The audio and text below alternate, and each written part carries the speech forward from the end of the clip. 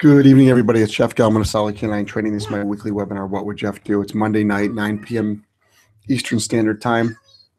I want to thank everybody for attending my webinar. The way this works is ask questions, you'll get answers. It's a simple motto, huh? Ask questions, you'll get answers. It's important that we get a lot of public interaction today uh, on the webinar.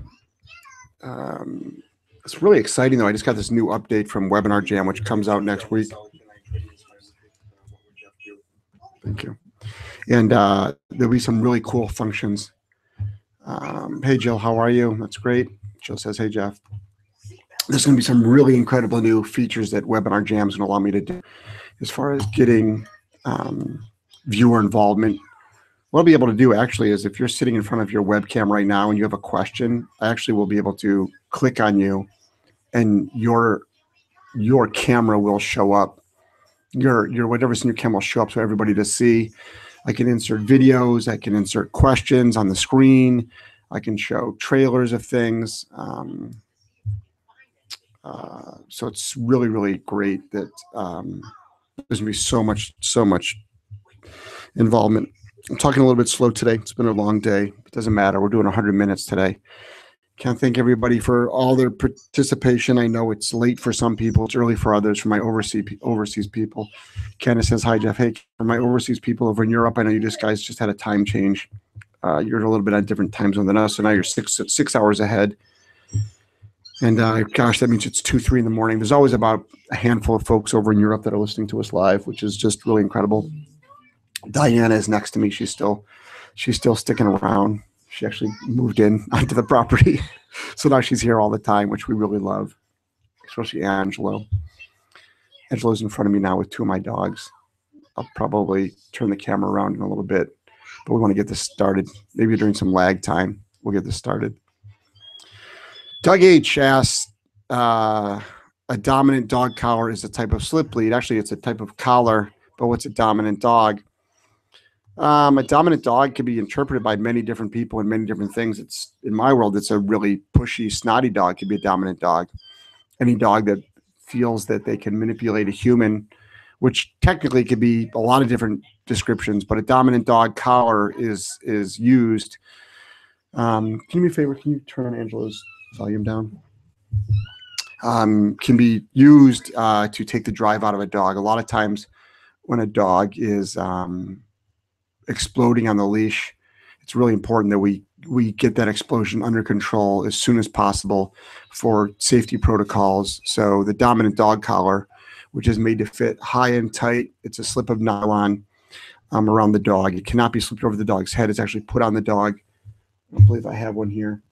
Um, I've demonstrated it before. Um, it takes the pretty much it takes the drive out of the dog, which translate um, uh, uh to taking the air out of the dog. Remember when you when you're asking a question, please put for admin only. Um, it's important that you put for admin only. If not, everybody gets to see your question, which is fine. But um, it'd be nice if we can have everything private just to protect the privacy of all my folks. I don't know why the Webinar Jam has opened this up to like a public thing now. Um, so when you're asking a question, please put for admin only and for questions. So for admin only and for questions, not to everyone. So let me ask, uh, ask Claudia's question first. Claudia says, I have a five-year-old Rottie and have been focusing really hard on balancing him and me. He has leash reactivity and people aggression. I've been doing low-level e-collar training for about a month and a half. He's heeling really good. We practice place by having, uh, by have, uh, going to a place until released. I have three questions. When we sit down at a restaurant and he lunges at other dogs entering the area, do I do the e-collar and state command or down command. First of all, if you've got a dog that's lunging at people at restaurants, you probably shouldn't take him to a restaurant yet. He's not ready for public access, and you need to proof that at restaurants and public places when you're really not eating at restaurants. So you role play eating at restaurants. So a dog should not be lunging at that point. But what are you going to do? You're not going to use the e-collar. You know, we don't use the state command. That would that would deem a heavy correction, which I really don't want you doing in public restaurants. So I want you to role play that by pretending to go to restaurants um, and outdoor cafes when you really don't have to go there.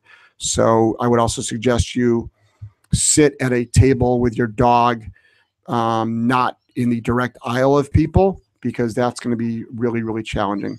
Um, he doesn't like to be stared at and reacts when someone looks at him straight in the eye. I should have not to put this as the number one question. What can I do about this? You can desensitize him to that. Um, but again, if you're getting reactivity and a dog that does not like to be stared at the eye, I can't stress enough, Claudia, you should not be bringing the dog out into a public situation unless you're training. In other words, you don't have the final product yet, so you cannot treat the dog like the final product. Um, we're, when we're out walking, we have not done off leash yet. Good. I, su- I suggest you do not do off leash yet. There may be another dog who's off leash that runs up to us. I'm afraid that my dog may react. If he does, what do I do? How to get the other dog to leave if his owner isn't readily around? Um, and then um, I love your son Angelo. He's just too, thank you. So Claudia, so this is the thing.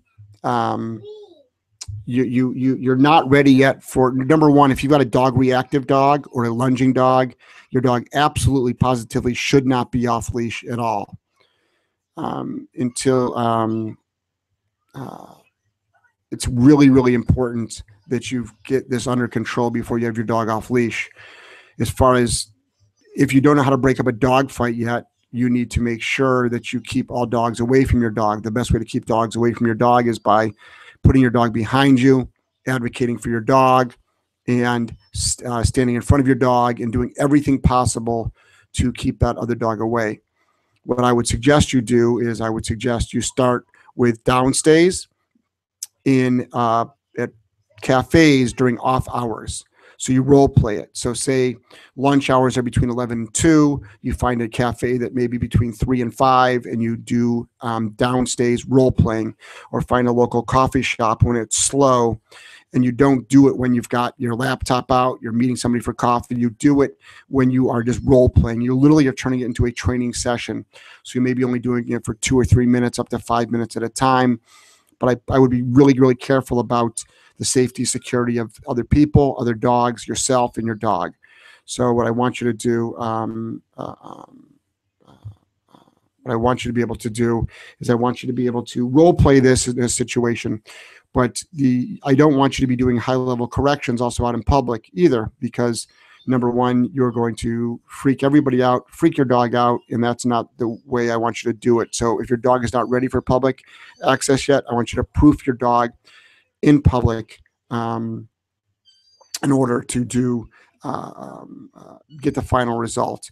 And remember, people asking questions, please ask them in for admin only and underneath um, questions. I keep having to look at uh, Diana's screen. She's she's signed up as a, a guest so we can see everybody. All right. So Stacy, thank you so much. Stacy says we see questions in the chat box. Yep, I know. Thank you. Scott says, Jeff, such an awesome day. Brought Stanley home, did a structured walk, some duration work while we cooked dinner, and we did some heeling in the house. First time he ever went in the basement or the second floor. Um, uh, the remote collar has been so awesome. He's immediately been very tuned in to us. Thank you.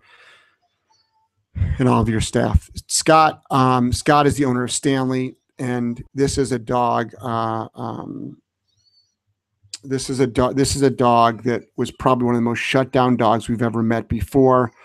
And kudos to Scott and his wife and his investment into us, because Stanley was probably one of the more challenging dogs we've worked with in a long time. It's pretty incredible what we're able to do with Stanley, and and, and it's pretty empowering that that Scott is able to continue that training at his house. And kudos to you. Um, I'm really really proud of uh, Stanley, and I'm really proud of the training that you've been doing. Peter, Peter says, um, "Hey Jeff, do you want to meet up at the park tomorrow evening to work on reactivity and leash stuff, or at the center?" Peter, no, I don't. Um, I do not want to meet at a park tomorrow at all. Um, but if you want to do something at the center, oh, wait, hold on, Peter. Do we, we have a session tomorrow? Okay, we have a session. Oh, yeah, yeah, Peter, five fifteen. You want to work tomorrow with Peter? What are you doing tomorrow? I told him I was off, but I could come back. So let's let's figure out what we're gonna do tomorrow, Peter. I'll I'll text you or call you during the day. Um, I've got it's hard for me to leave the center sometimes, so let me just see what we're gonna do. But we'll do something. We'll figure something out. All right, we'll figure something out, Peter. Anne, Anne asks, what are your thoughts on public dog parks? On the other, on one hand, I like the opportunity for exercise and social skills. On the other hand, I'm a bit paranoid about possible illness or parasite transmission. I hate public dog parks, Anne. I think they're toxic. I think the people there are toxic. I think people there don't know a damn thing about dogs, about dog behavior. I think most people that go there have got dogs that are out of control with zero recall, zero social skills, and they never have any other place to go. Um, I think that do- they've got the mentality that, oh, let's let dogs figure things out. I think most of the people that come there, they come there for the social aspect of humans with no concern or respect for you or your dog. I, I wouldn't trust a dog at a dog park. Now, obviously, I've had bad experiences at dog parks. If I lived out west that had a 20 acre, 10 acre, 40 acre open field dog park, I might feel feel differently about it. But being in New England, we've got really small dog parks. I'm a big fan of taking my, this is what I like to do train your dog to be off leash trained with bomb proof recall, off leash, remote collar, and go to the beach, the woods, the walking path, open fields. That's what I prefer. I understand the concept of the dog park, but honestly, you're not actually socializing your dog. You're actually most likely training your dog to practice bad behaviors or allowing other dogs to practice bad behaviors. This is the thing. What would you do, um, and if a dog mounted your dog at a dog park? What would you do? I would go over to that dog. Well, if I had a dressage whip on me, which we would have in our socialization, I would give that dog a double tap on the ass, and that dog would go running. But since I'm at a dog park and I can't carry a dressage whip with me, I would go over and I would use my foot and I would give that dog a double tap into the lower rib areas, almost like a kidney shot. Yes, it sounds mean. Yes, it sounds abusive. It probably is abusive, but the bottom line is you're not going to mount my dog. The problem with that is I would get yelled at and screamed at by everybody at the dog park. The issue is that your dog mounting my dog, I just saved your dog's life because out of the nine dogs that I have, half of them, if you ever mounted, would turn around and put your dog in the hospital. And guess what? My dogs are friendly, but yet you don't mount my dogs. So I don't like dog parks. Um, I'm not a big fan of them. But yes, also parasites are the concept of drinking out of community water bowls is terrible. Um, Giardia alone is enough to keep you out of a community water dish. Anytime you see community water dishes like at stores or cafes, I encourage you and your dog, well, not you, if you're drinking out of water dishes, that's another issue. We can talk about that. Um, some of us were raised by wolves, but hopefully by now you've gotten over that concept and discovered what a water bottle is. But as far as your dog is concerned, that's a great way for your dog to pick up Giardia. So I hope that answered your question. I put out a great video um, on prong collars. I've been trying to get a. I've got an old video and I wanted to put out a new video on prong collars, and I finally got it out. And it's series. It's the first series of uh, uh, videos that I've done on prong. Well, I shouldn't say that. It's like prong collar 101. It shows you exactly the two different sizes of prong collars that we use, how to put them on, how to size them, and how to fit them on the dog. And then I, we have enough footage to also. I'll be doing my next video, which I've started laying out um, and it's introducing the dog to the prong collar by doing the prong collar dance and then basic leash handling skills in the prong collar. And it's um, it'll get it'll get you know i don't know 20 to 30,000 views probably in the first 6 months. It'll get passed around and shared by many people. And of course it'll get a lot of negative opposition for the folks that are sitting on the fence about prong collars, though, first of all, I understand your concerns and I understand what the market is saying. And I understand what people say out there. And yes, they look barbaric. And, and it's funny how people love to say, whenever I put out a prong collar video, people always say, well, you don't really need a prong collar if you spent enough time with your dog and you know you build a proper relationship, yada yada yada. You know what? You're full of shit. Okay, bottom line is all you people that say that are full of shit. And this is why. How dare you take away the, the, the, the grasp of success from somebody that is struggling? Okay. You don't know what it's like to have a dog that struggles. And another thing is, I'm sorry, I don't want to take three to six months to teach my dog how to walk on a leash. I don't want to take three days or three weeks. When I can train a dog to walk on a leash literally in 30 seconds, you know what?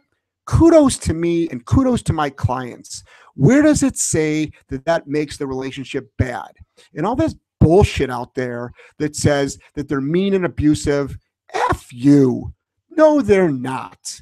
Okay, I'm sorry. They're not mean and abusive at all. Prong collars don't harm dogs. Let's just get this straight. And you're talking to someone that's trained 3,000 dogs. Okay, they save dogs' lives. I have never, ever seen a dog harmed on a prong collar on my property, my facility. They don't make dogs aggressive. They don't make dogs fearful. They don't make dogs nervous. They don't make dogs, you know, uh, submissive to you by you dominating them. Okay. So get over that concept. And I'm going to start being really wording this stuff really strong. And I'm not being defensive. What I'm doing is the anti prong collar people are getting so powerful because they really don't give a shit about your success.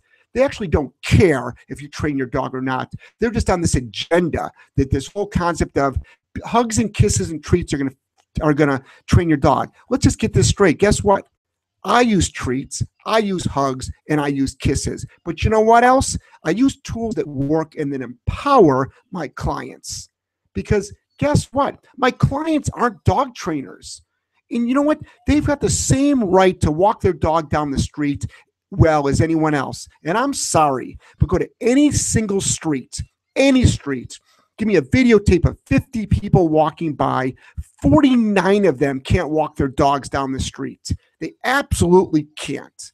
So I was in a, a pet a pet supply place this weekend to pick up some dog food. There must have been 20 dogs there. They were out of control. Every single one of them was out of control. You got to give me a freaking break. People, control your dogs. I love it. I got job security. All right. I got an unlimited income stream. I'm loving it. So, but the but but don't you dare bash a tool. Don't you right to bash a tool? I'm a big advocate of freedom of speech, obviously. But the fact that you're bashing a tool that you don't know anything about is just wrong. You have no information out there. You're on this cut and paste, copy and paste agenda that you actually haven't even used an iota of your own brain power to put out there.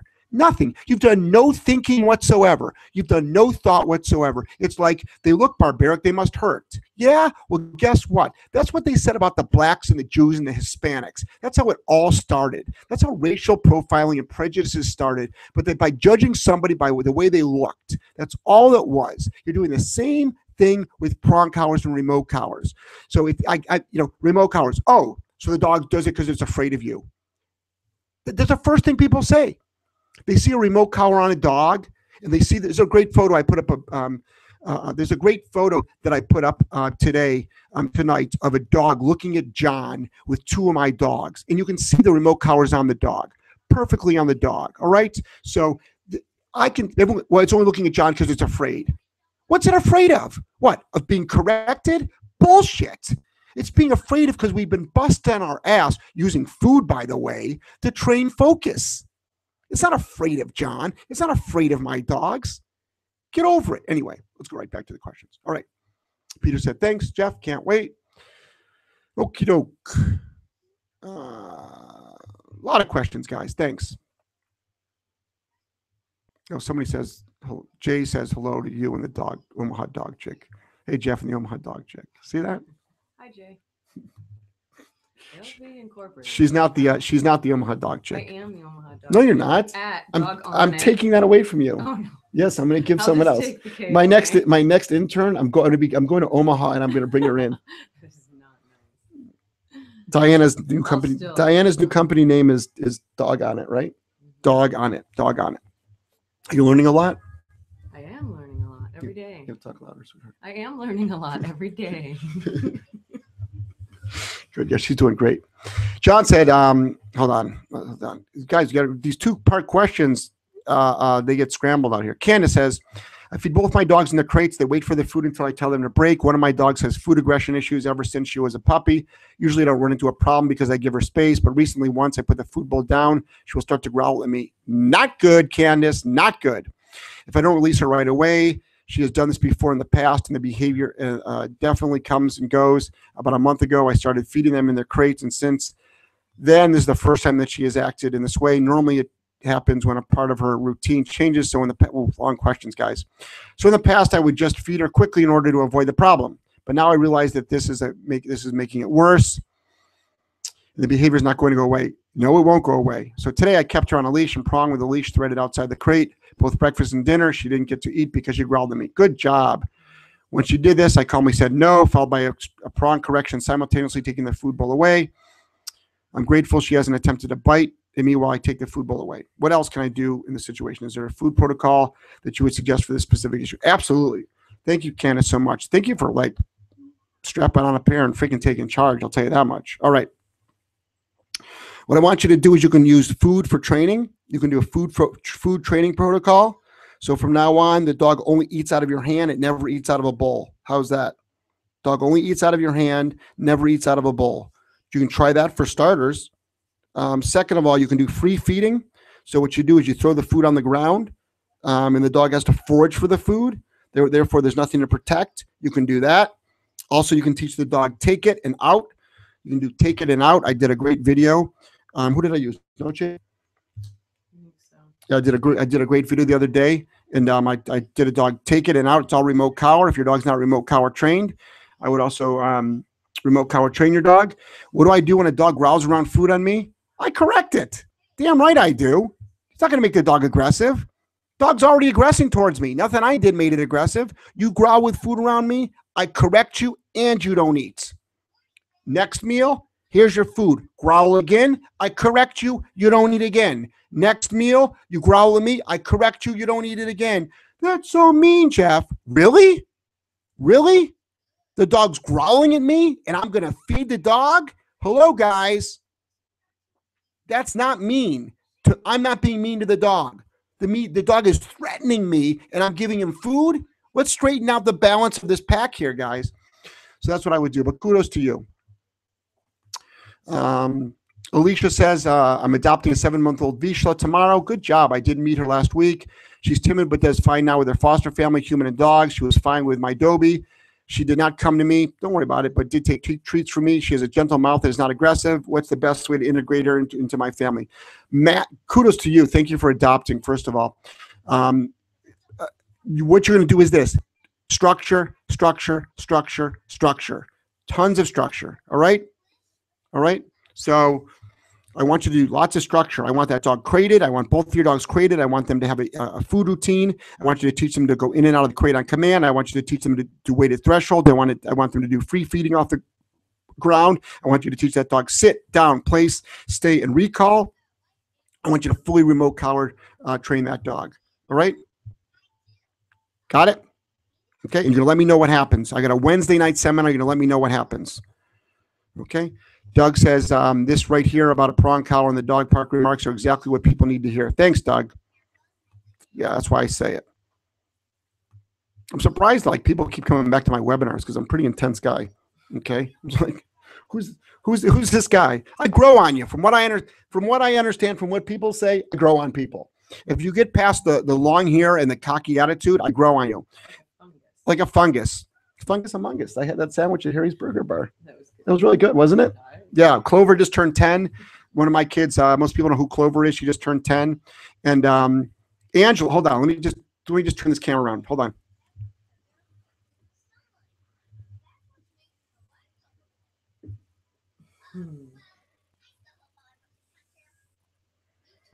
Hey, Ange, say hi. hi.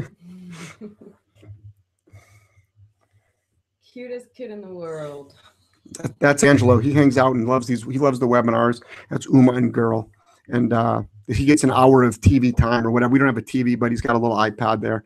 Um, he gets an hour of that. But this is the thing: is that, that it's important that people understand that that that the reason why I'm so passionate because I'm frankly I'm sick and tired of the four million dogs being killed a year. Jody says just uh, now ordered the Herm Sprenger collar and the pet convincer. I'm looking forward to getting Jackson started on leash training. However, in the meantime, we brought Jackson home on the 19th from our local shelter. Thank you for adopting. On Sunday, we received a crate from a friend. Good job. Jackson did not display any issues with the crate until today. Aha, honeymoon period is over, Jody. He had been walked twice and ran via bicycle leash for about 25 minutes. We created him and left. I was gone for about one and a half hours.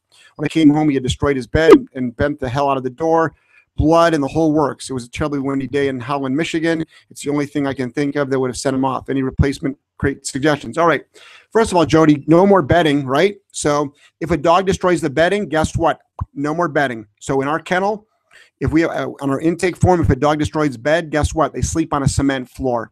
Okay that we sleep on a cement floor. So that sounds mean and cold. Not really.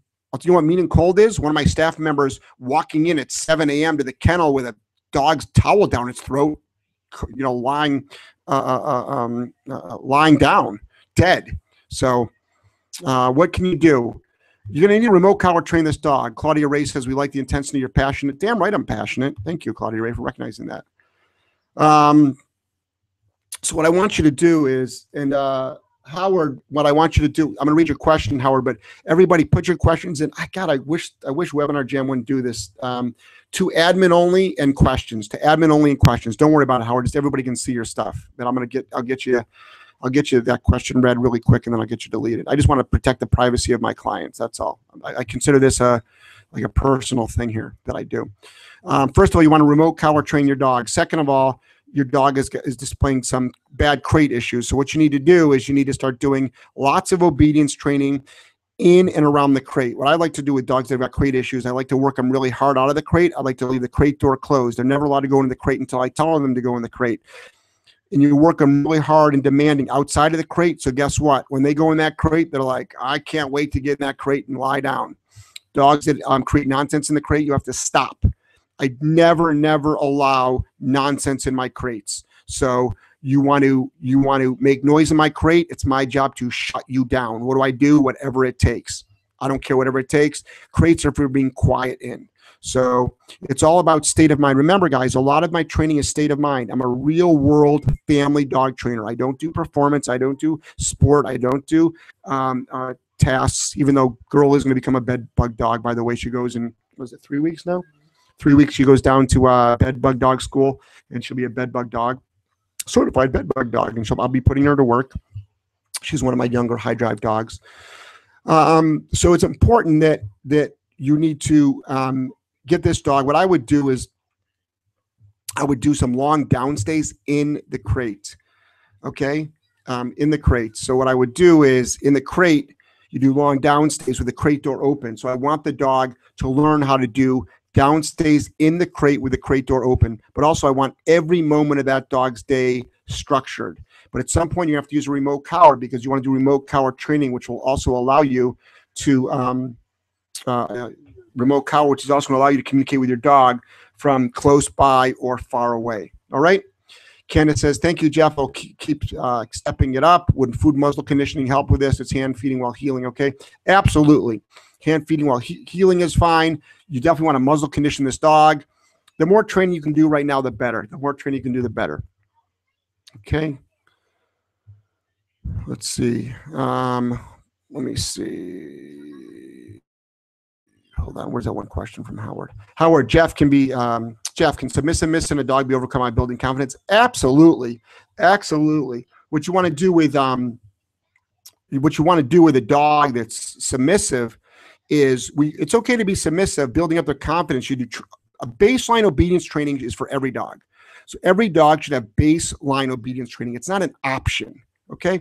And when i talk about baseline most dogs out there are not even slightly trained. Not they don't even they wouldn't even be able to pass a basic obedience program. We're not talking about sit just for the trick of sit or down for the trick of down. We're talking about down meaning so right now my two dogs are in place this is a 100 minute webinar. They should stay there. They were in there. We got up here about what 45 minutes before the webinar started. They've been in there the whole time, and they should stay there. Why? Because what else would they do? Like, I, what are they going to do? Run around my room here? Or the, you know, think about it. Remember that. That remember the remember how I turned the camera around. Angelo, who is two, and hey, Angelo, what's up with you, buddy? he's two. Um, he's hanging out on the on the couch. By the way, that is a dog couch. That's why they're up there. Um, and Angelo's actually hanging out on the dog couch. I'm actually not against dogs on furniture. Aggressive dogs should not be on furniture, but my dogs are not aggressive. but they have massive amounts of structure. So just remember, you can start giving your dog lots of love and affection if your structure and consequences are up here. But if your love and affection is above your structure and your consequences, you're going to struggle. You're really going to struggle. Um, so yeah, dogs should always be in command in the home and out of the home, which sounds really like, oh my gosh, that sounds so strict. Well, you know, what should they be doing? Walking around your house looking for places to shit and piss and and, and things to eat and chew and destroy and bark out windows? Don't you want to have a good relationship with your dog? Why you letting your dog wander around your house? What happened to this relationship you're trying to build? So, with these two guys that are in front of me right now, we're building a great relationship. They're proving to me that I can take them places. So, these two, um, Diana and I are going out to Ohio just for five days to do a seminar. Girl is going to come with us. But when I go on the road, after that, when I go on the road for five weeks, Girl and Uma are going to go with me. Could you imagine me five weeks, it, the two dogs in an RV? John right, they better be uh, in command all the time. They're going to be off leash. They'll never have a collar on. They'll never have a leash on. They need to respond to commands like instantly. There'll be traffic everywhere, trucks everywhere, semis, RVs, dogs, and people. They better listen to everything I say, or I'm in trouble. But guess what? They get to travel with me. How awesome is that? Five weeks, 24 7 with me? It doesn't get better than that. We're not voting on that, by the way. Say, shall we do a poll? You think you'll make five days with me? I don't know. I'm pretty- we better stock up on the wine. Diana, I'm, I'm I'm bringing, I'm buying you wine. Okay. You, you actually tell Linda what you want. She'll buy it. Okay. Linda's Linda's go, people are like, it's so funny that like a lot of like, Linda's such a cool chick. And she's like, oh my God, like, what does your wife think of Diana traveling in an RV with you? And Linda's like, good luck to her. So, so uh, uh, it's just really funny how, um, anyway, that's just, we're, we're not going to talk about insecure people. Anyway, so Peter says Primo pads with lockdown system. That's probably to the person that destroys the, the, bedding in the crate. I would say you get nothing, but good idea. Um, Katie says Jeff using a prong collar reminds me very much of using a bit when riding a horse. Agreed, or if when or riding crop for that matters. Sure, someone can hurt horses with those tools, but when used properly and humanely, it changes the horse's state of mind. Many times, just holding the riding crop would take away the horse's feistiness. Prong collar is the same for dogs. I wonder why there's not as much con- controversy with tools for horses. I agree. There's contra. It's because we don't. Well, probably because we don't baby horses as much. You know what I mean? People aren't taking horses and baby strollers and baby them around, and people aren't dressing up their freaking horses, are they? Putting Halloween costumes on their horses or carrying them around like a little baby. So maybe that's why. I don't know. Anyway, let me just take a water break here. It's good water. Apple cider vinegar, water. No honey. I didn't have time. I was looking, couldn't find it. Okie doke. Uh, Sarah says, huge business jump. I'm taking on an intern. Wow, she's 17, homeschooled, and already training walking neighbors' dogs. She'll be helping me with kennel maintenance, walking dogs, and attending observing training sessions. She's saving money for the ICP conference and T3. Is there anything I should sh- know beforehand since she's a minor, turns 18 in May? Just don't want to get bit. That's all. Don't let her get bit. I mean, talk to you talk to your lawyer, Sarah. I mean, the bottom line is something goes down, something's going down. Contracts don't work. And and even if you had a contract, be a decent human being. You know, be a decent human being. You know, theoretically, you're responsible for that for that person. She's 17 years old. Your, your life is in her hands. Do not let her work with aggressive dogs. Do not let her around aggressive dogs. The best thing you can do is teach her that dogs are, are there to be worked. They're not there to be hugged and kissed. So there's a there's a great photo. Hopefully, I mean, a lot of people here follow me on social media, and I'm gonna I keep bringing up Angelo because he's two, and there's a great photo of him in my play yard yesterday with um one two three six dogs, big dogs, all big dogs. Half of those dogs with aggression issues, and Angelo can walk among them. And you know why Angelo can walk among these dogs, especially Mac.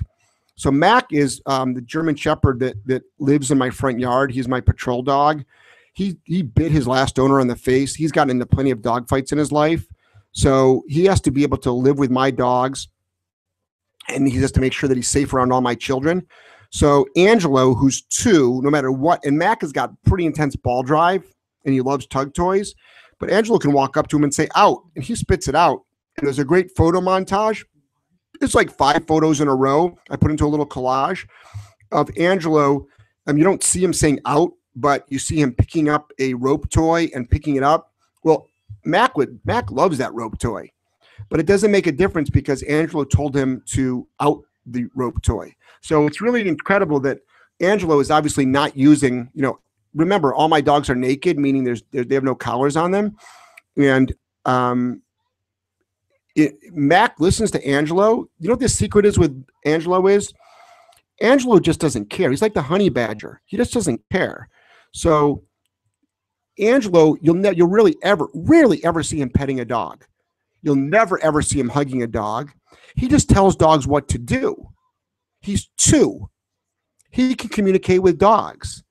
At first, it was through like grunting, and now we actually can use some words. But Angelo can walk with 20 dogs in a play yard, and dogs just move out of his way. Why? Because Angelo thinks they're supposed to. Think about that concept. Do we understand that concept, guys? Angelo is two. He can walk through a play yard of 20 dogs, and dogs move out of his way. Why? Because Angelo thinks they're supposed to move out of his way. He's two. So, guess what the dogs think? I guess we should move out of this kid's way because they know that. They can feel it. All right. So Marianne says, update and plea. Used a pet convincer on a loose and charging dog today. Oh my gosh. Brutus did not get the chance to eat him because the small dog immediately went screaming back in the direction I came from. Good. Save the day. My adrenaline was as high. That's a scary one, as if things had gone badly and my dog was still lunging, barking, and crazy, but there was no contact whatsoever between dogs. Please plug the pet convincer to all those owners of reactive dogs. It's springtime, and a lot of idealistic dog owners are living out their own Norman Rockwell fantasies. Hey, don't knock Norman. Okay.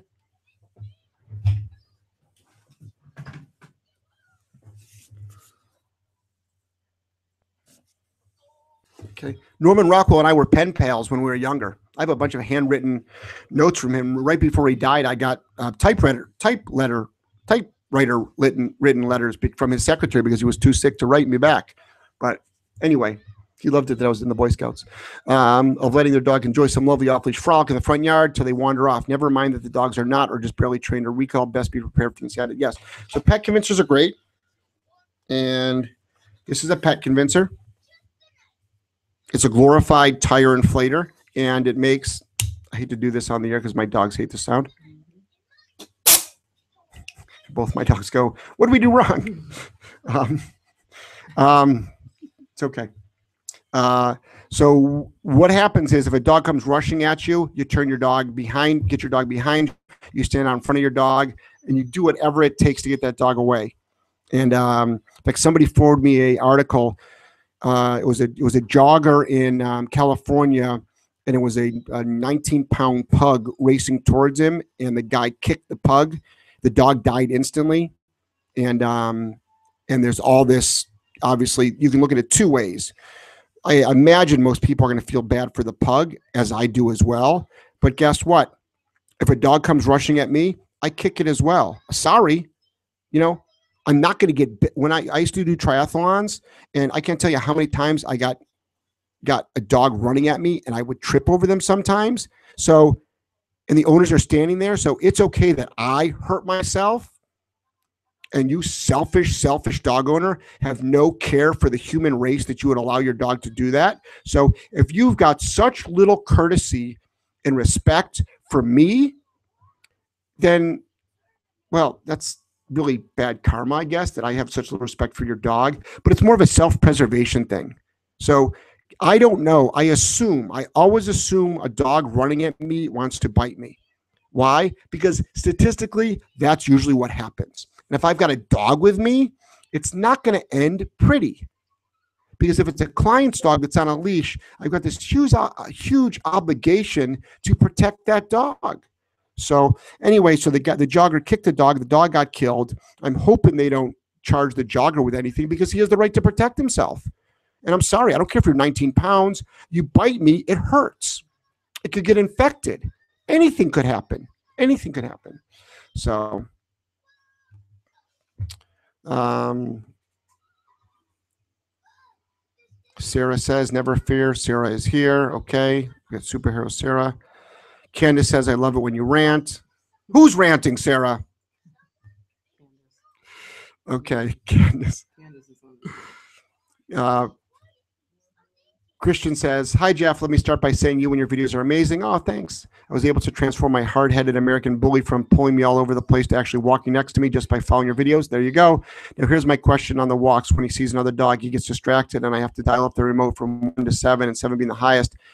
I'm just using a Sport Dog 425, and because of the excitement, he doesn't feel it. Uh, do you think I need a stronger collar? He's 84 pounds. Yeah, I would go with the. Um, I'm not mean, nothing against Sport Dog but I would go with at least the eCollar Technologies Mini Educator 300. So what I would do is I would start out with that. Um, I don't think you need the Boss, but if he's blowing through a seven on a sport dog, you might as well just get the Boss. Get the Boss 800. It's going to be more versatile. It's only a little bit more money. And what you're doing is you're waiting until, so Christian, you're waiting till the dog gets past threshold. Once a dog gets past threshold, it's really, really difficult to control them. So what I want you to do is um, I'm putting out a video. I'll get it edited. What's today? Monday. I'll try to get it edited by Wednesday about how to use a remote uh, prong collar and the prong collar heel. And a lot of it, what you do is you learn how to give the dog information prior to when it needs. But the video that I'm making is in a very sterile environment. We don't move to outside yet um, on the walk because I'm just trying to get people the basics first. So what you want to do is you want to give that information to the dog way, way before they get to threshold. What a lot of people do is they wait till the dog gets past threshold and then they try to correct, and the correction's not going to work. You actually have to pull your dog out of that situation. So, but I'm glad that you're able to get your dog to walk. That's great. Terry says, I was taught how to use a prong collar in the early 80s. It was barbaric. I was opposed to them until about eight months ago when I saw a balanced trainer. Um, and I'm once again pro prong. Used correctly, they are amazing tool and more humane than a dog that pulls itself, making choking sounds. Agreed. So glad I learned a, a great way to use this tool, and it's so much more humane than I was led to believe. I know. I mean, first, a lot of people, uh, not just to say the old days, but a lot of people still are using prong collars incorrectly, trainers and owners. You know, the the, the video that I showed, um, and I'll put the link up. You know what I'll do? Ooh, I can do a fun trick. I'm going to put the link up. Uh, I'll put the link up to the video um, at the end of this webinar so you guys can see it if you want. And it's a great video. Uh, it'll probably eventually be one of my number one videos. Um, and it just shows how to size the prong collar and put it on. I think it's going to make a big deal to a lot of people, um, changing the way that they look at prong collars. Okay.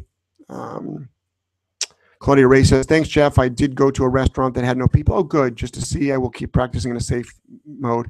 Good. Ke- Claudia, keep it up. Remember, role play, role play, role play. All right. You role play, role play, role play until you are ready for um, for the public.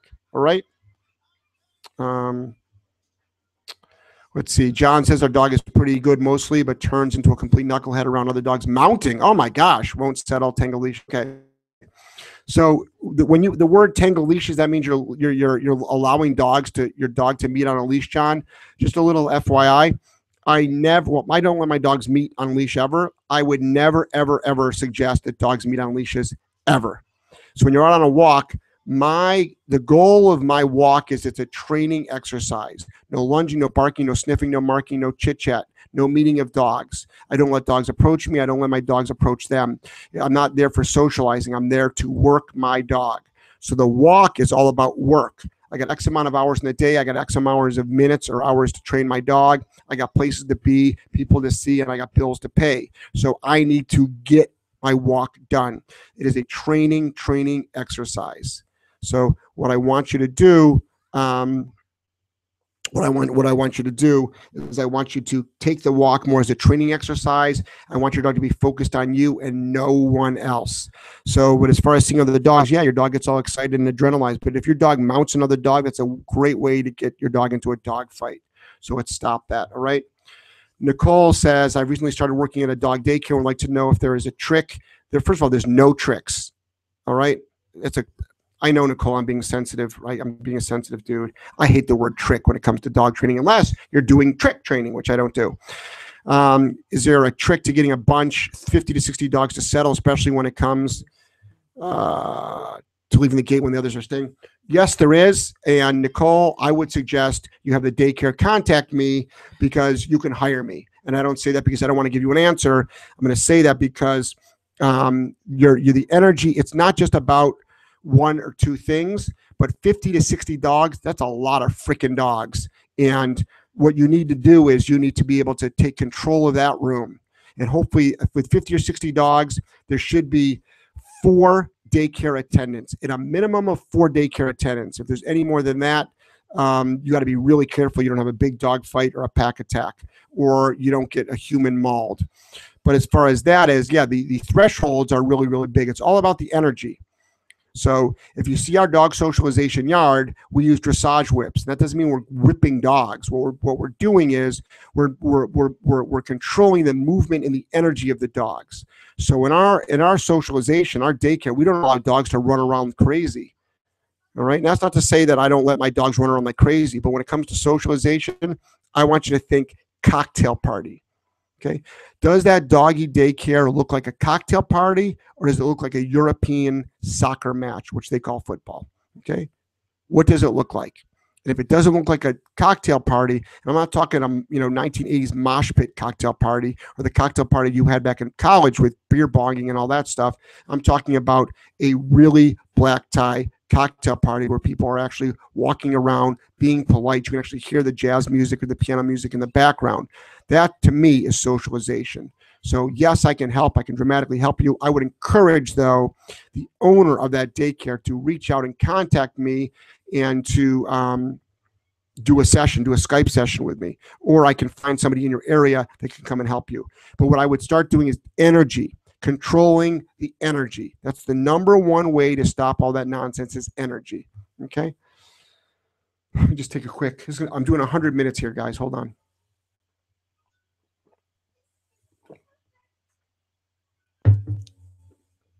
Remember, if you're going to be asking any questions you want to do for to admin only, and you want to do um, questions. Uh, Nicole says we have two at most. Holy moly. Two daycare attendants for 50 to 60 dogs? Wow. All right. You might want to look for another job. There's no structure to the daycare. So, wow. So it's just a big cash machine for that place. Mm-hmm. All right.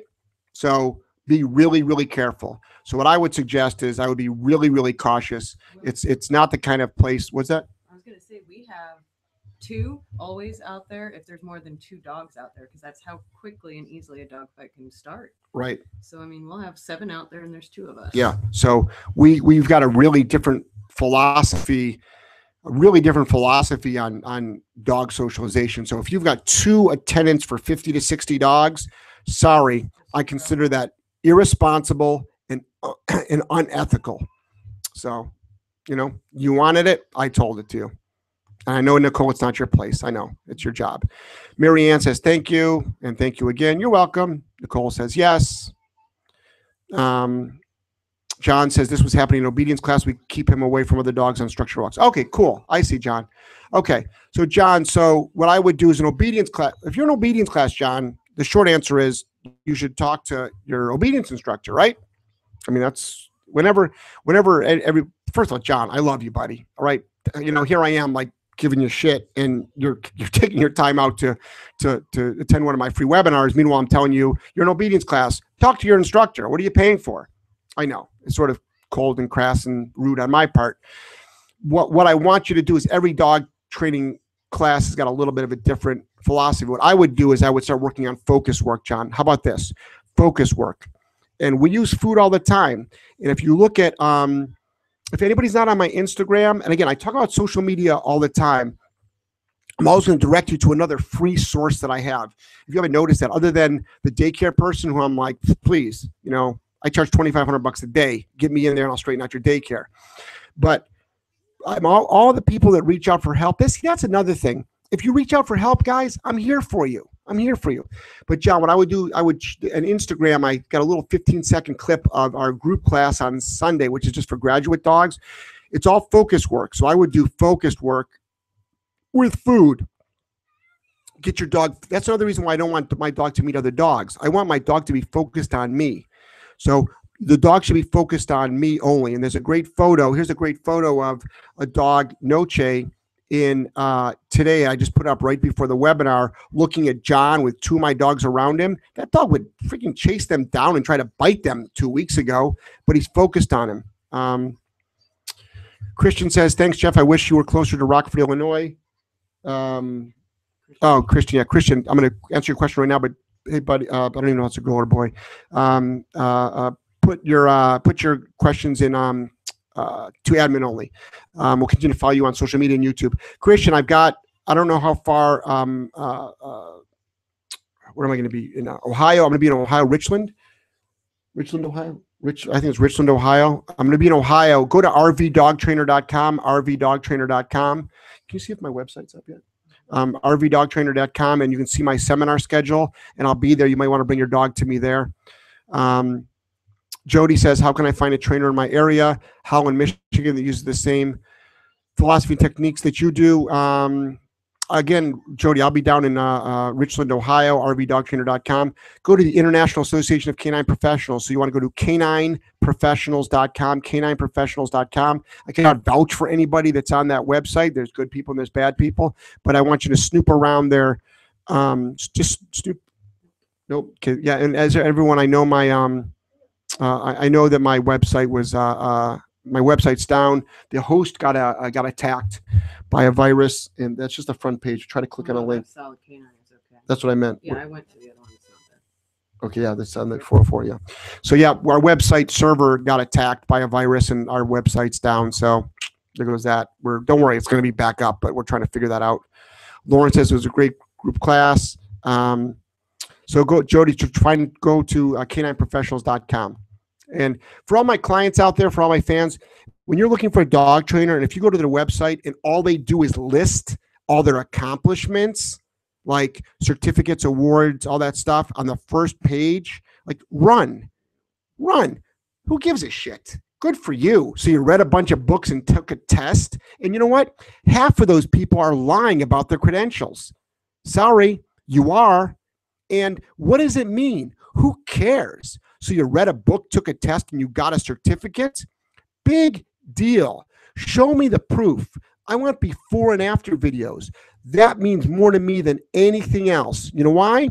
Okay, I'm jaded, obviously. I got Tufts University right up by me, Prozac capital of the world, 42 miles from me. It's like a freaking Prozac machine up there. No matter, oh, my dog pees on the couch. Prozac. My dog jumps up on people. Prozac. My dog has separation anxiety. Prozac. My dog is too friendly. Prozac. Like they don't even listen to you. It's just Prozac, Prozac, Prozac, Prozac. It's a joke. It's a $400 sit down, punch in a t- bunch of questionnaires. And if anybody from Tufts University wants to uh, uh, uh, have, have a have a good a conversation about it without attacking my tools, just like I'm attacking your meds, uh, feel free to. But I'm sorry, when you sit down in front of a veterinary behaviorist, ooh, sounds really smart and intelligent, doesn't it? Guess what? How many dogs have they actually handled? Seriously, how many dogs have they actually taken on a structured walk? Your average veterinary behaviorist, how many dogs have they actually walked in a heel before? How many leash reactive dogs have they been able to control? How many? When's the last time they actually they actually fixed resource guarding? They fixed separation anxiety. They fixed jumping. You know what the answer is? Zero, none, nada. They don't even touch the leash. It is a joke. It's a waste of money. Watch one of my webinars instead. Watch anybody's webinars instead. Um, John says, thanks. We've tried to talk to the trainer. She won't tolerate us to bring the dog on his prong collar. This is how we found you looking for better ideas. I'm bringing Jigsaw with me to the Ohio RV thing. All right. Nice. Thanks for the advice. I really appreciate what you do. We're getting results with your material. Thanks. So, John, okay. First of all, John, highly intelligent man, because you go to my Ohio RV dog training seminar, okay? And you'll see, you'll see Diana, okay? Bottle of wine, red wine. Got it? Red wine. Tonight she's drinking. You like this? Okay. Francis Coppola Zinfandel 2012. All right? Bring her a bottle. You'll get a photo op with her. Okay. Just can't touch her. All right. Okay. So I protect all my staff, my kids, everybody with my life. So, but she's really, she's a super cool chick. And that's a compliment calling her a super cool chick. That's right. So um, this is the thing, John. So here's a great example, John. Okay. You're not allowed to use a prong collar. That's fine. I have no problem with you not being able to use a prong collar. Ask your instructor to take your dog's leash and say, fix it then. Stand back. Say, show me. Show me what to do. What do I do? Help me here. Help me. So, what I would do, John, is I would say to the instructor of your dog training class, who probably has a bunch of letters after his or her name, correct? Correct. I would say, show me what to do. And if they can't do it, you say to them, so I'm supposed to do it? Like, I'm just a dog owner. You're a dog trainer. You can't control my dog. How am I supposed to control my dog? Correct? Correct. Kudos to you. John says, Zin, good choice. I'm married. hey, John, I'm married too. All right. But I'm probably the biggest flirt in the world. All right. Good. Okay. Uh, let's see. Terry says, I received my ICP membership last week. Thanks for sponsoring me. You're welcome, Terry. Thank you so much. Jay, uh, oh, gosh, guys, what time is it? All right, we got time. Uh, Jay says, um, working with a downstay with a foster dog, I'm using a prong collar and, and leash during training. How would I correct her after she breaks command after the sixth time? Would I consistently keeping? Uh, okay, so in Jay downstay, the sixth time she breaks it, how long? Okay, there's a couple of things. How long? Um, how long uh, have you been working on it? Right. So when a dog is in the first work of obedience, they're in the learning stage still. We don't correct hard.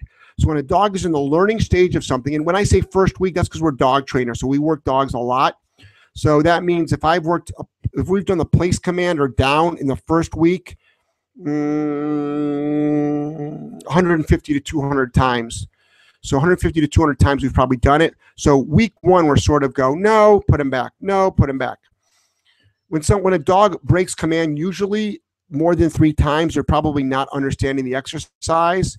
So um, what what I want you to do is take a step back and are you actually teaching the dog properly what you're looking for? Then what I'd like you to do is this. If you're on the speak and you're doing down or place and you don't know the dog definitely knows it, this is what I want you to do.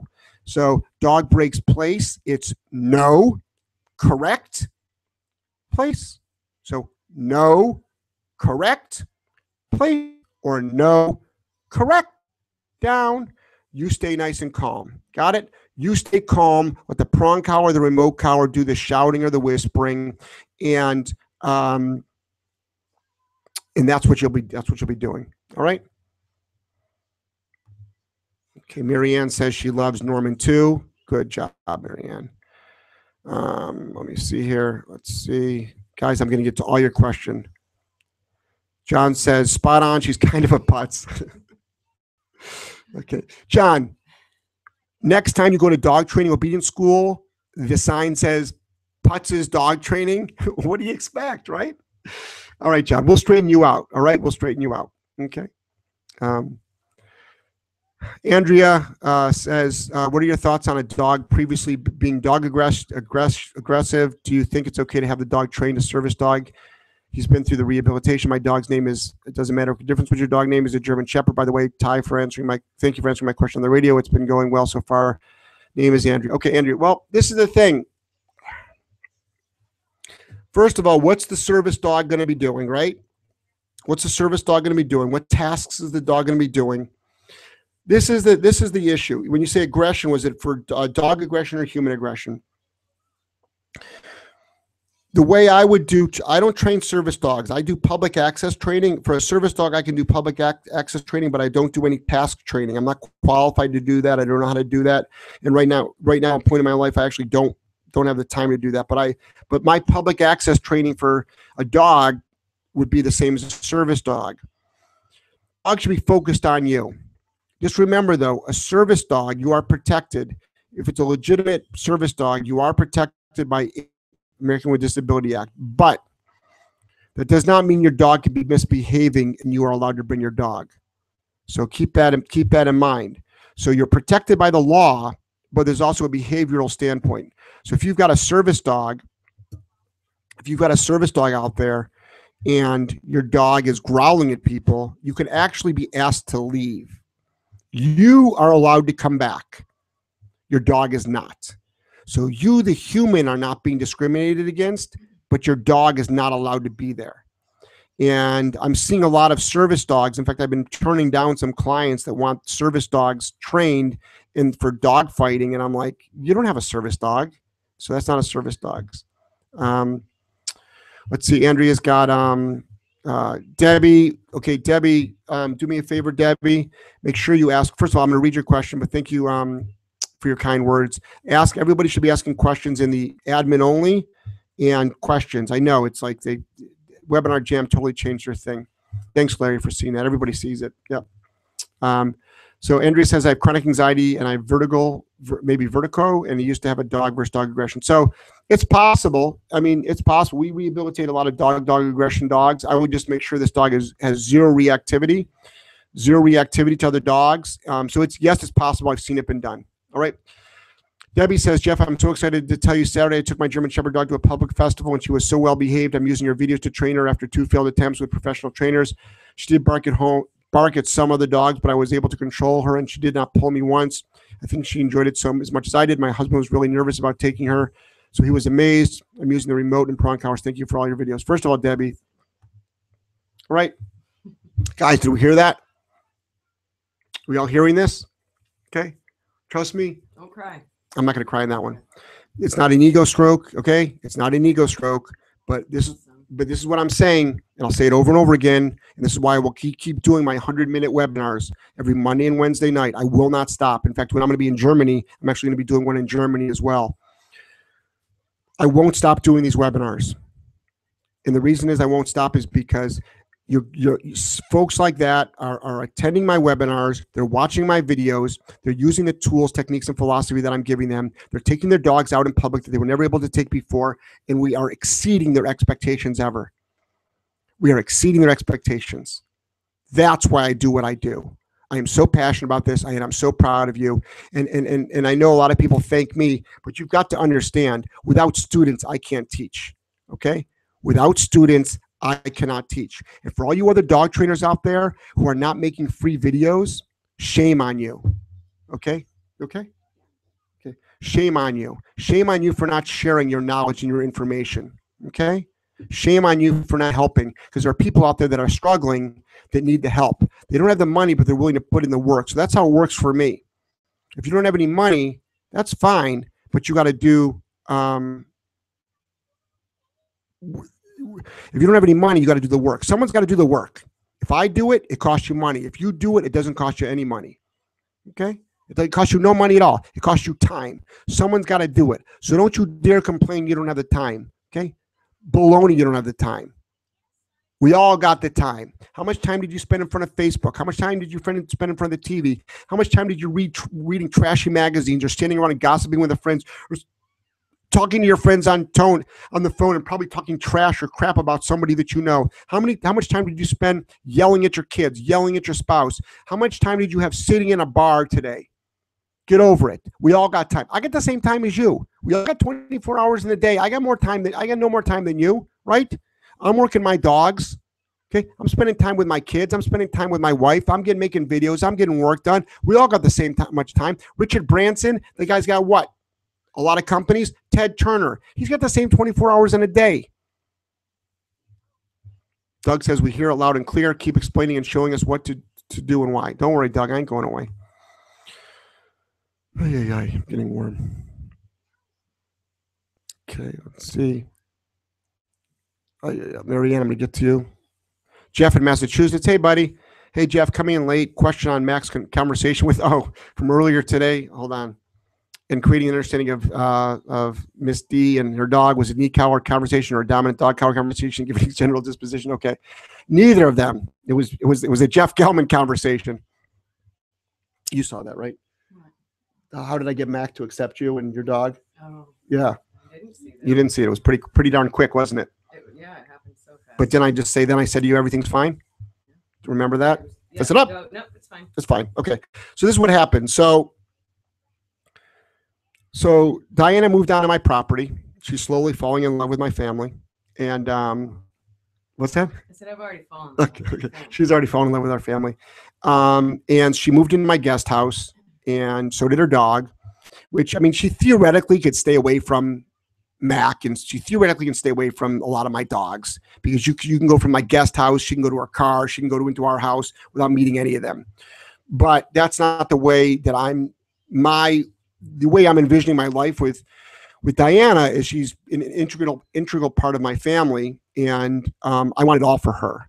So I wanted her to be able to enjoy my my my play yard with her dog, even though my dogs are in it, and I never want to have to worry about my dogs around her or her dog. So Mac, he does protection work on my property, and what happens is is if you go into the play yard where he is, he's going to he's going to make sure you don't stay in that play yard if you're a human or you're a dog but someone else just moved in and they have to be in the play yard. So on my, I did a posting on. There's a photo of Diana with her dog from was it Sunday or Today. no? It was, I put it today, but when was the photo taken? It was yesterday on your day off, right? Mhm. It was. I think it was yesterday. We took the photo. It was sunny out. It Must have been yesterday in the afternoon. And so this is what I did. I let my dogs in first, and then I let her dog in, and then I let Diana in. And I said, Diana, just ignore Mac. And then Mac immediately started doing some dominant posturing over her dog. And all I did was follow Mac around, follow Mac around, follow Mac around. So I pretty so he followed her dog around and I followed Mac around. So I mirrored what he was doing. I mirrored what he was doing. I mirrored what he was doing. And then um it and then all of a sudden he did one sort of dominant power over um over her and i just used my hand and i just gave him a hand correction a la Cesar Millan in the um sort of like a kidney shot and then Mac said okay no problem i got no problem with this anymore and then i literally just turned my back on mac and i said we're all set so it was about 30 seconds of me observing and waiting for the right moment. And then I had a quick conversation with Mac. And then right after that, Mac said, I got no problem with you. Um, and then obviously, um, he won't have a problem with Diana either. But that doesn't mean, you know, Diana can hug and kiss Mac because we don't do that with our dogs. So what she wants to do with her own dog is that's a whole different story. But we don't do that with Mac. None of us do. Um, and I don't do that with most of my other dogs, not because I'm afraid of getting bit by Mac, but that's not what he wants. So he he, does, he doesn't want that type of relationship with humans. He wants to be worked, and um, we work him pretty hard. So I use no tools whatsoever. Mac does not have a Mac is a naked dog, meaning he has no collar on whatsoever. He doesn't have a leash on him. I use um, just with him. I use my body, I use my energy, and I use a lot of implied stuff.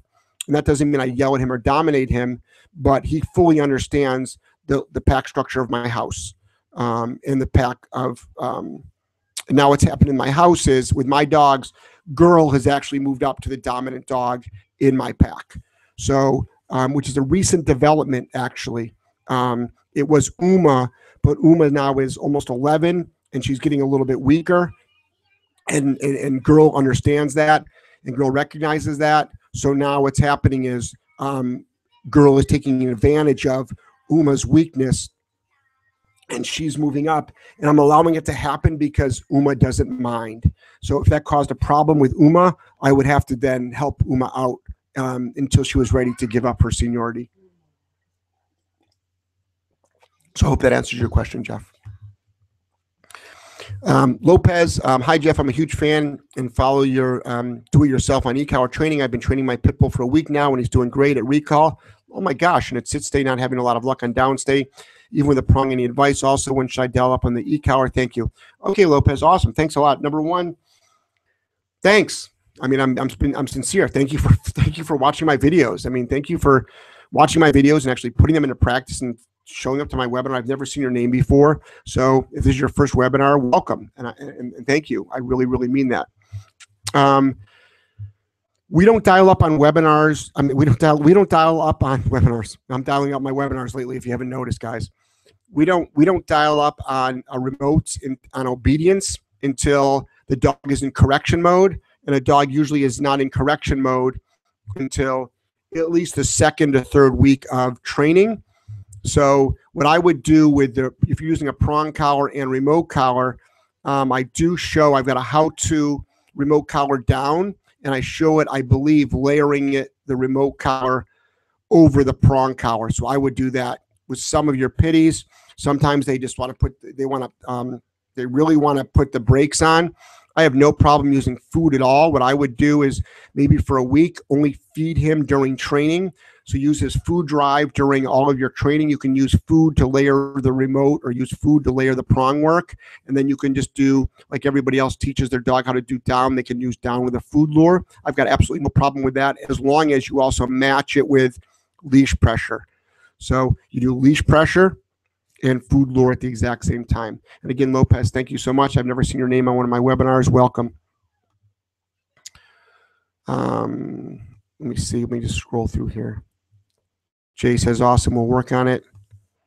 Um, Terry says, to the teenager who's following you get to attend T3 yet? If not, I'm going to Dallas and will gladly give her a ride and share a motel room for splitting the cost if her parents are okay with it. I think she's going to be down in New Orleans to go to Accelerate, Terry. That's how we're talking about Jill. Um, Chad says, Jeff, thank you for all your videos. Myself, as well as my 10 month old Golden Doodle, have made great strides. We've worked on prong collars and I've put the e collar on. She's a little timid with the e collar. She has long hair, and I have the long hair tips on the collar. Any advice to make her less timid? Her working level seems to be a four when I noticed she's was reacting to the e collar. She wants to just roll around like she was trying to get it off. I've stopped with e collar, hoping advice from you. I have the boss from e collar technologies. Wow. So the boss is a pretty powerful unit, buddy. Um, uh, but four is really low. This is what I would do. I want that e-collar on first thing in the morning. I don't want you to take it off till at night, but halfway through the day, I want you to make sure you switch it from side to side. This is assuming that you're around your dog all day. Get your dog used to the e-collar. I don't want your dog to have the e-collar on just for training. Life is training. What I want you to do is I want you to feed your dog um, only when the e-collar is on. All right. So only, only when the um, e-collar is on. So that's the that's the most important um, thing to do is let's do this. E-collar equals I'm eating. E-collar equals I'm eating. So what we do with our with our remote collar training is we condition the dog on the remote and we use food. So oh shoot, we didn't do it. We didn't do a sit, um, a, a here here sit break, did we? Video? Yeah, didn't we shoot some footage of that? Shoot, yeah, we told everyone we would.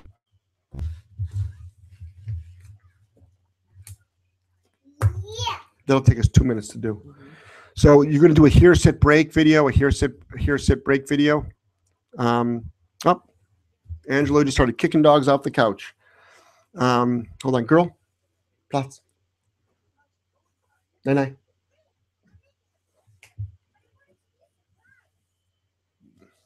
Good. Angelo started kicking his feet. Dogs went flying. All right.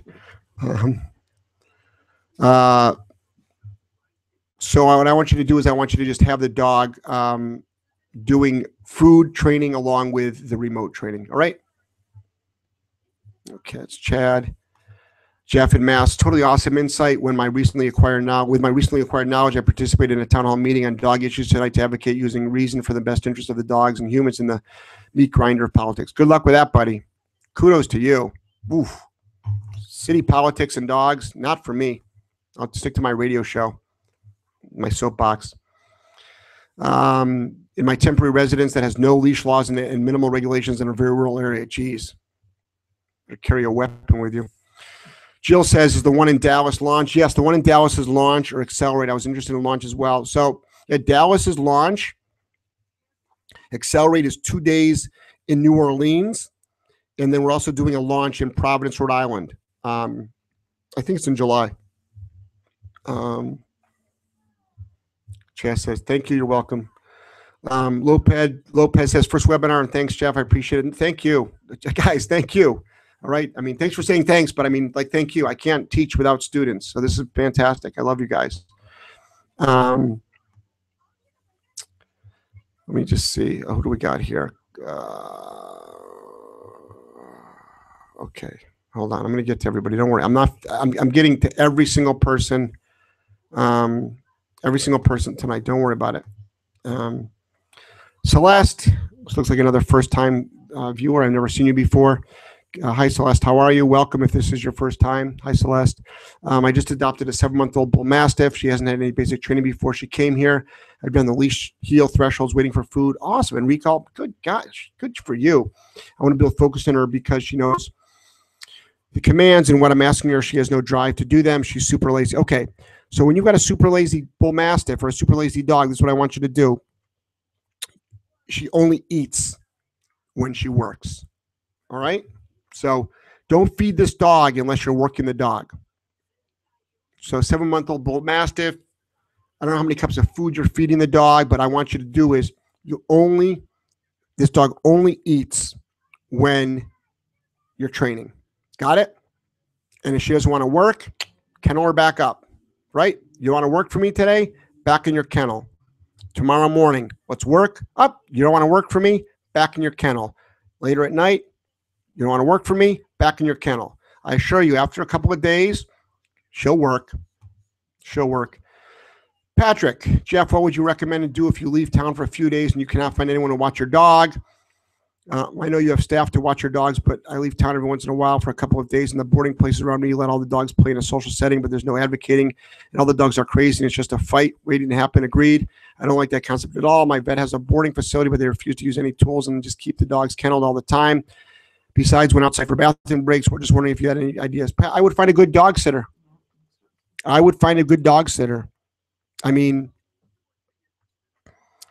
when I travel, I uh, when I took my nine week RV tour, um, I took one of my dogs with me.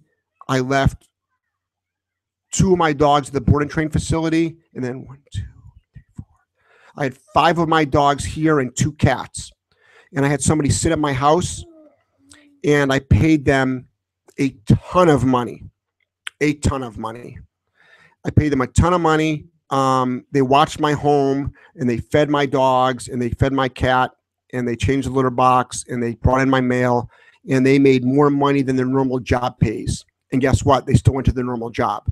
So um, when I when I train when I leave for um, my five week boarding my, my five week road trip it's time for diana to be leaving but i'm going to offer her a ton of money to stay for one more month i'm putting her on the spot here and i don't expect an answer for her but i'll pay her more money than you know i'll pay her a lot of money to stay just to know that i've got an awesome awesome person at my facility and that she lives on my property now actually taking care of my helping taking care of my house and i'm sure she'll help linda out and then also with angelo.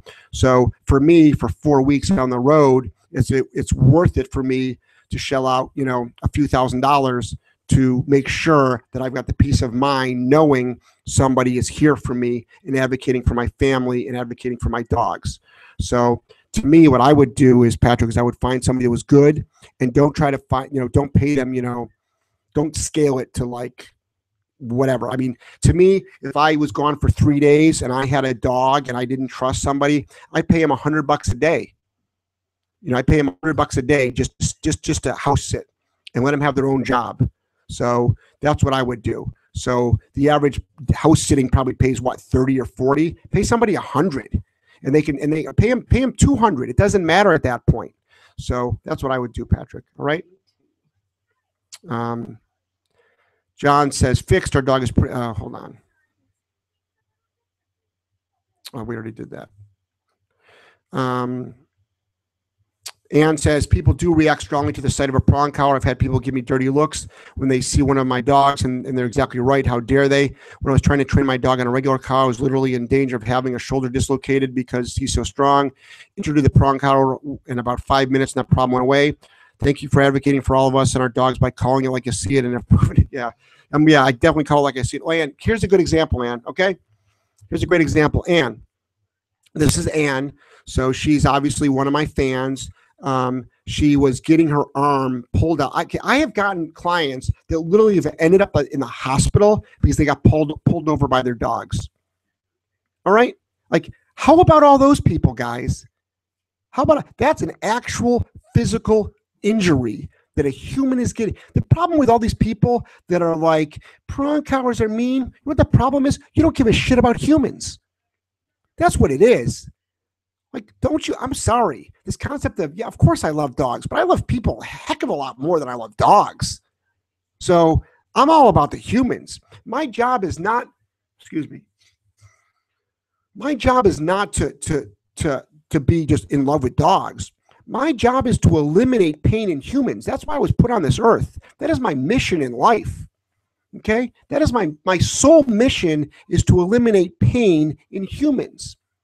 And I will use any tool that I have access to. I will use any technique that I have access to. You got an eight-week-old puppy, it's not the same as an aggressive dog.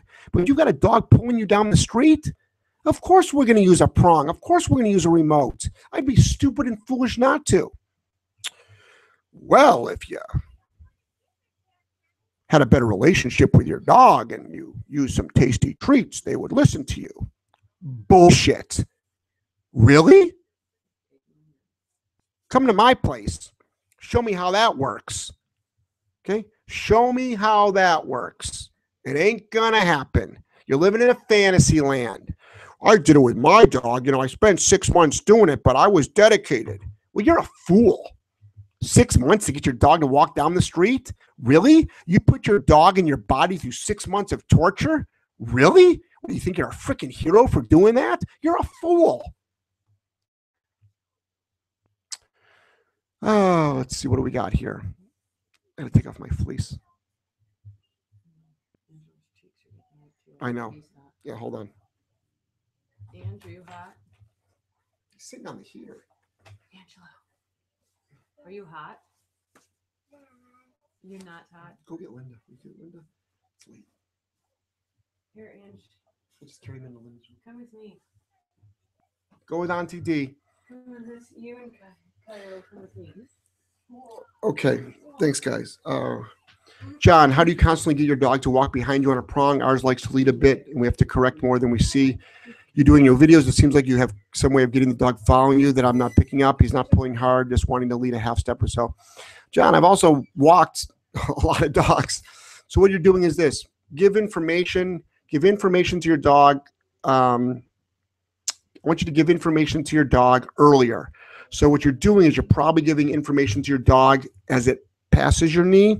I want you to give information to your dog a little bit to a lot before.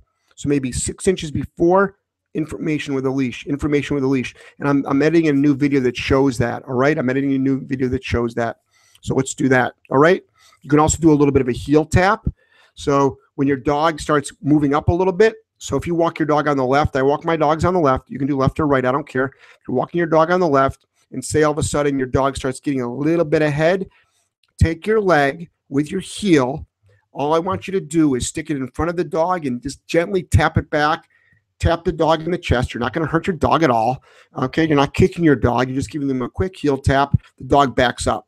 Okay. That's that's that's a good way to do it as well. You can also make a bunch of quick 180s, catch your dog off, t- t- catching your dog off guard. You can do um, remote collar heel. I would encourage you to do remote collar heel anyway. You can do remote collar heel, and that'll be good for you. Okay. Let's see. Okay, John. Uh, Sharon, my niece's dog barks aggressively whenever anyone outside of his family comes into the house. Normally, she keeps him in his crate, but when I visit, I'm simply not afraid of him, so she can turn him loose and let him come up and sniff, and he's friendly with me. I've never seen any body language that makes me feel he would bite me. Once I sit down, he's totally fine, but when I stand up to leave, he starts barking again. Is there anything I can do differently when I stand up, or just leave it up to his owner? I've known the dog for three years. Okay, Sharon, it ain't your dog. Okay, it's not your dog. It's the owner's dog. It's up to the owner to train the dog. Got it? So if I go over someone's house and the owner's like, don't move, stand still, don't look at my dog. I'm like, you're freaking nuts. You gotta be kidding me. I came over for the cheese and hors d'oeuvres. You're telling me to train your dog. What am I? No. Get ready. Put your dog in another room. So it's not your job. All right. Hold on. What's that, honey? The soap smells so. The soap? Yes. Where's that from? Which one? The girls? Yeah. so Was it a good. pump? Yeah. There's like three in there, and I like that one. Gotta be kidding me. Mm-mm, You smell mm. that again? What kind of freaking soap are they using? It's Method. It's like that Target's brand. It's Kelly Moss. Oh man. You gotta be kidding me. it's so That's good. not in my bathroom. Well, What the heck? good. My kids have a master bathroom. That's Obviously, beautiful. obviously they got good soap. yeah, they get good soap. Ask Linda. See if you can get some of that soap out in your bathroom. Mm, What do you have? I don't know. You had soap though. We gave you soap. Oh Right? yeah, it's um, I don't remember. Okay, girl. Please. I get her. She's all for fun dangled here. Okay. I might have to go outside actually. Time is it? Ten thirty. She might have to go outside of the bathroom. John says with a heel tap, where am I contacting um contacting the dog? I didn't quite follow. you. Right here. Right in the chest. The chest of the dog, not the chest of you. So your dog's walking next to you. Say it's on the left hand side, right? I just want your leg to just go back like that. Tap the dog in the chest. Tap the dog in the chest. That's all you're doing. Just your heel, heel, boom, heel, boom. All right. Um, Candace says Alyssa um, got home late from work and can't sign in any, sign in anymore. She says hi and see you on Wednesday. Candace, I don't know why. I don't know why people can't sign in. You should be able to sign in anytime to my webinar. Yeah, I mean, it didn't. It's so weird. I don't know why. I don't think Webinar Jam locks people out. Uh, I could be wrong. I don't know. Did you ban them on accident? Is there a way to check that? No, I don't know. We'll Tell tell her to clear her cookies. Yeah. Tell tell tell Alyssa to clear her uh, cookies and browser history, and then try to re-sign in again. All right. John says, "Got it. Excellent. Good." Andrea, I've been watching your videos for the last three months and been getting up at 5 a.m. to fit in training before work. Okay, that alone, you got me at 5 a.m. Andrea, you got me at 5 a.m. I'm in love with you, Andrea. Okay, I'm in love with you because this is it. You wanted something hard enough, you got up early to get it. It's called hustling. That's what I do. Okay, I'm in bed at midnight, one o'clock. I'm up at five. Why? Because I got big plans. That's why. Kudos to you. Okay, my dog has come a long way, but I'm having trouble turning into the dog when uh, turning turning into the dog went on the heel and before i went through two trainers and got no results. I first had adopted him. Everyone told me to put um, put him down but i turned my head and didn't give up on him. It was sweat and tears but so proud of my dog. Though uh, through you i have been able to understand how to communicate with my dog. Oh, andrea okay. You're rocking it baby. You're rocking it. Now I th- let's see let's see all right Jill says they can't sign up after it starts. Tell her to just have the link open or email it to herself. So just email the link to yourself. I don't know. I don't know how the I don't know this I don't know how that end of it works. Jill's like an expert though. Thank you, Jill. Jill, maybe I'll make you like this new th- this new webinar jam that's coming out. I can have like a moderator. Taking out. What the hell are you I don't know. Can have a moderator. Maybe you'll like work like a switchboard from me. Don't you cut I cut Jill. Forget it, Jill. Forget I said that. She'll be jumping all over that. Taking my job. I know. All right. Uh, Claudia Claudia says, "Hi Jeff, my dog has low drive and is very well behaved in the house. I do not kennel him while I'm away at work. I have a doggy door so that he can let himself in and out. Is that okay practice? So if it's working for you, it's okay. Yeah. If you want to increase your dog's drive, don't feed him. Make him work for his food. But this this is the thing. I'm not against doggy doors. Well, that's my my dogs have in and out privileges as well. But guess what? My dogs also aren't housebroken. So keep that in mind because when they have to go to the bathroom, they just walk outside. At night, I kennel them up. During the day, I have my kids kennel up my dogs for like three hours at a time. Um, if my eyes are on my dog, I doubt they're going to drop trow and pee in front of me. But um, uh, uh, uh, it works for you. Yeah, that's fine. It absolutely is fine with me. I saw that's pretty cool. I mean, I just saw it right now. Jill says I got so excited though. Jill, see, I can't tell say this stuff to Jill. Uh, Patrick, you can sign up after it starts. I did not. Uh, I did not sure what's wrong on their end. Yeah, I don't know. I don't know. Debbie says, uh, "Oh, I also want to mention that I've learned from you that I was uh, taking way too much talking too much during training. I hardly say a word now. Much better communication. Yeah, most people train. Most people talk. If you've ever seen me train a dog, like really train a dog in person, like okay, first of all, guys, my webinars are technically theater. My radio show is theater. So um, I'm not normally like I'm when I train dogs, I actually uh, uh, keep my mouth shut. I rarely talk to dogs because dogs communicate differently than humans. I like to show dogs what I want, and I like to think about what I want the dogs to do.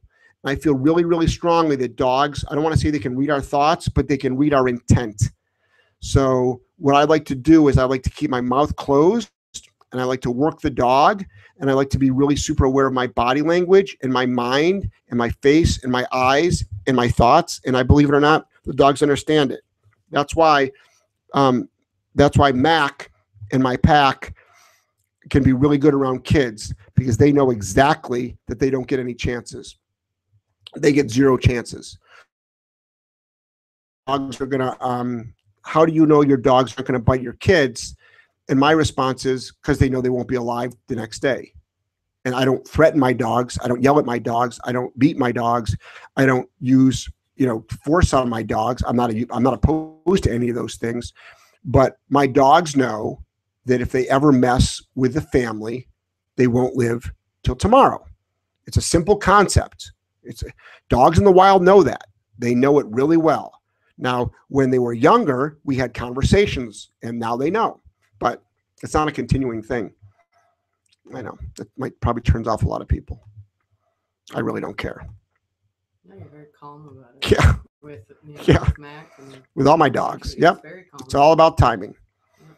Um, okay, let's see. Jill says, uh, so today we're having a great off leash session when I have no when I have no clue what happened. There were probably signals, but whatever they were, I didn't see them. He got a giant burst of energy. I would compare him to Sonic, and I lost control of him. He had the e-collar on. I started at seven. His working level went to 25 to try to step him out of it.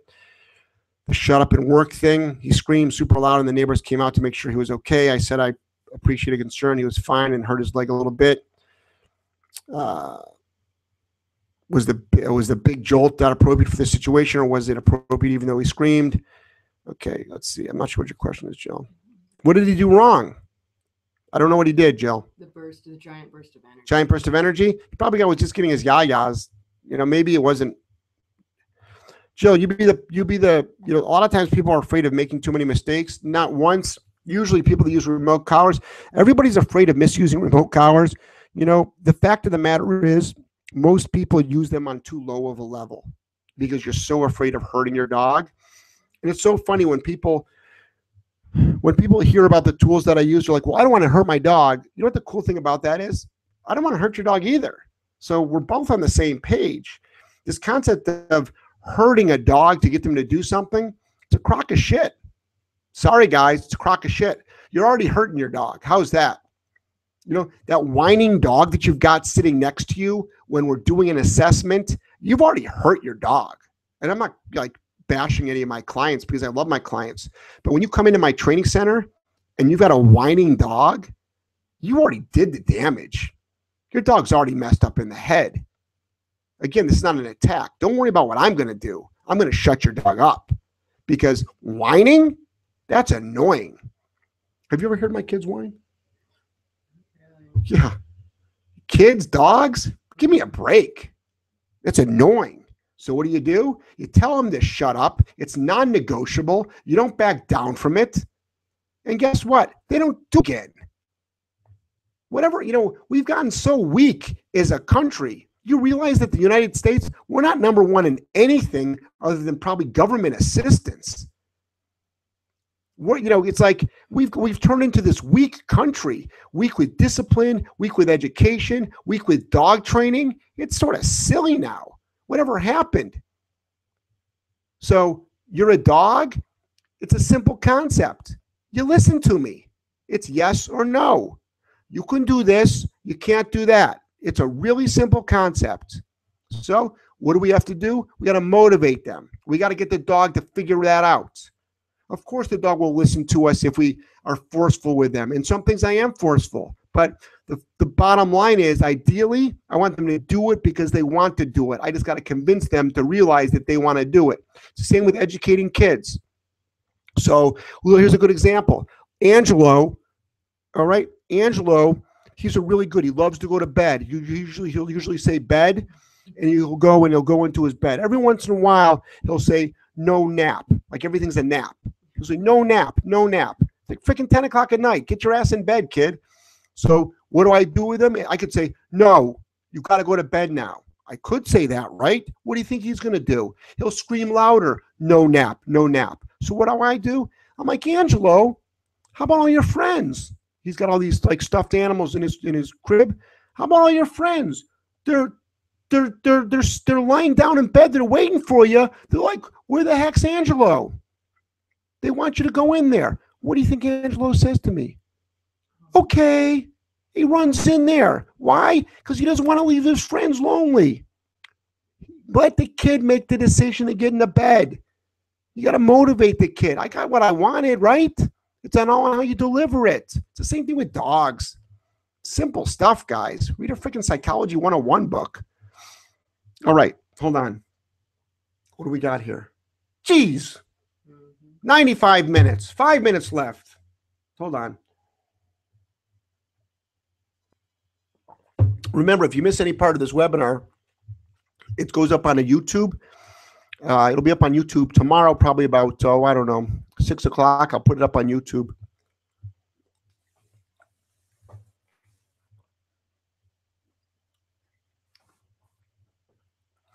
Terry, my foster pitty has skin problems.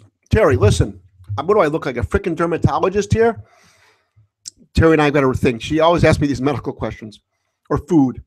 See, Terry, you're probably asking me, uh, this because the food question. So you're probably saying, Jeff, it's not a medical question. I finally found a kibble she can eat, but it's very small. It takes three pieces to equal one of my other kibble. Any suggestions on kibble? I used a trainer. This kibble is grain free and flaxseed free. It just takes her longer to eat a few tiny pieces than one piece. Use more or do the food training. And then at the end, throw a bunch of food on the ground and let her forage for it.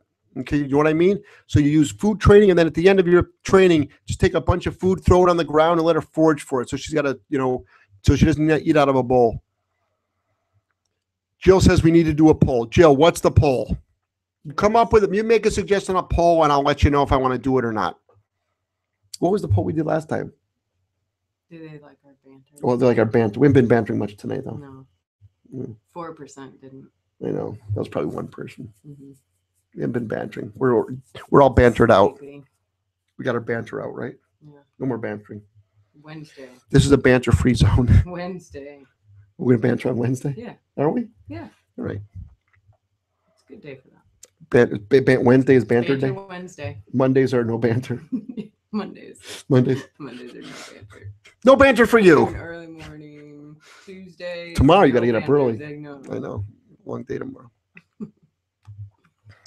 Um, Marianne, pre- uh, preparing for, let's see, preparing my dog, reactive dog for a routine vet visit. For the past three months, I take my dog on prong and e-collar to empty vet office once a week to say hello, sit on the waiting room scale. Look at you, you're doing the work. Awesome. do some short drills and down treats from meal kibble. So he likes to go, likes the desk. Ladies is now used to the smell of the place. Good for you.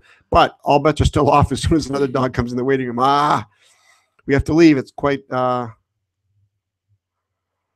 uh, Doug, I'm not going to ask that question because it doesn't matter to me. All right. Thank you, Doug, though, for the suggestion. All bets are still always off as soon as another dog comes into the waiting room. We have to leave. It's a level of distraction. Um, so for upcoming routine visit, I can get him into an empty exam room, but as he hears other dogs barking in rooms nearby, his stress level goes so high, the vet tells me I ought to establish rules. You are establishing rules and give me the phone number of a behaviorist. Don't go to a behaviorist, okay? I'd like to refute this, but my dog needs my help, and so defending myself is wasted time. He's made great progress since last appointment, but I'm dreading the judgment. And realistically, the visit is just not going to be a breeze. All right. I will keep him in both collars. Um, for safety and control, bring him kibble and do my best to keep him calm. Thought about purchasing his muzzle and conditioning dog so as to put vet at her utmost ease. Even though um, he's never shown the least bit of aggression towards any human, thinking perhaps her judgments about my dog's training and behavior are mainly an expression of her anxiety or fear. What do you th- think? Any other vet visit suggestions? Been training dog full time since adopting. Okay. first of all,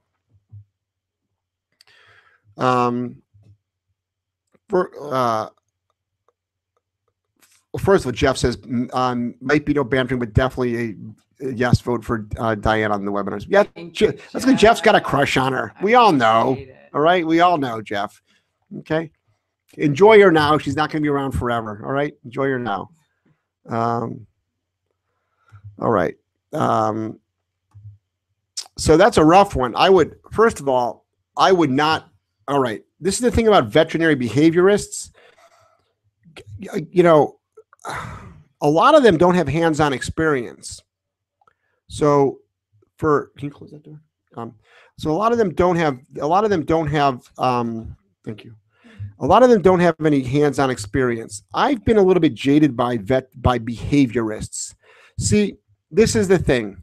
As somebody that barely made it through high school and um, uh, uh, had to leave college in order to not be arrested, I've got a thing with higher education. I'm not opposed to higher education at all. I actually work on my education on a daily basis. I'm bettering myself. But the thing is this is that a lot of people feel they can work with dogs just by going to school or reading a book. And in my experience, hands on training is the best way to learn about dogs. And then working with clients is the best way to understand human nature. It's a mix. So, what I would do with your dog is I would muzzle up your dog, get the dog muzzle conditioned. You go to bed now? Oh, okay. Hold on, guys.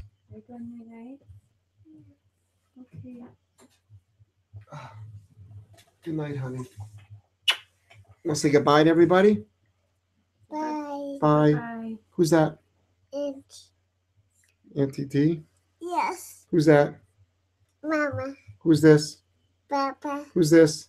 is And you want to say bye bye? Papa. You want to give Auntie a hug and kiss? Mwah. Okay. You gonna go see all your friends? Yes, Yeah. Who's in there? no, no. You- Who's the bzzz? Yes, Roof.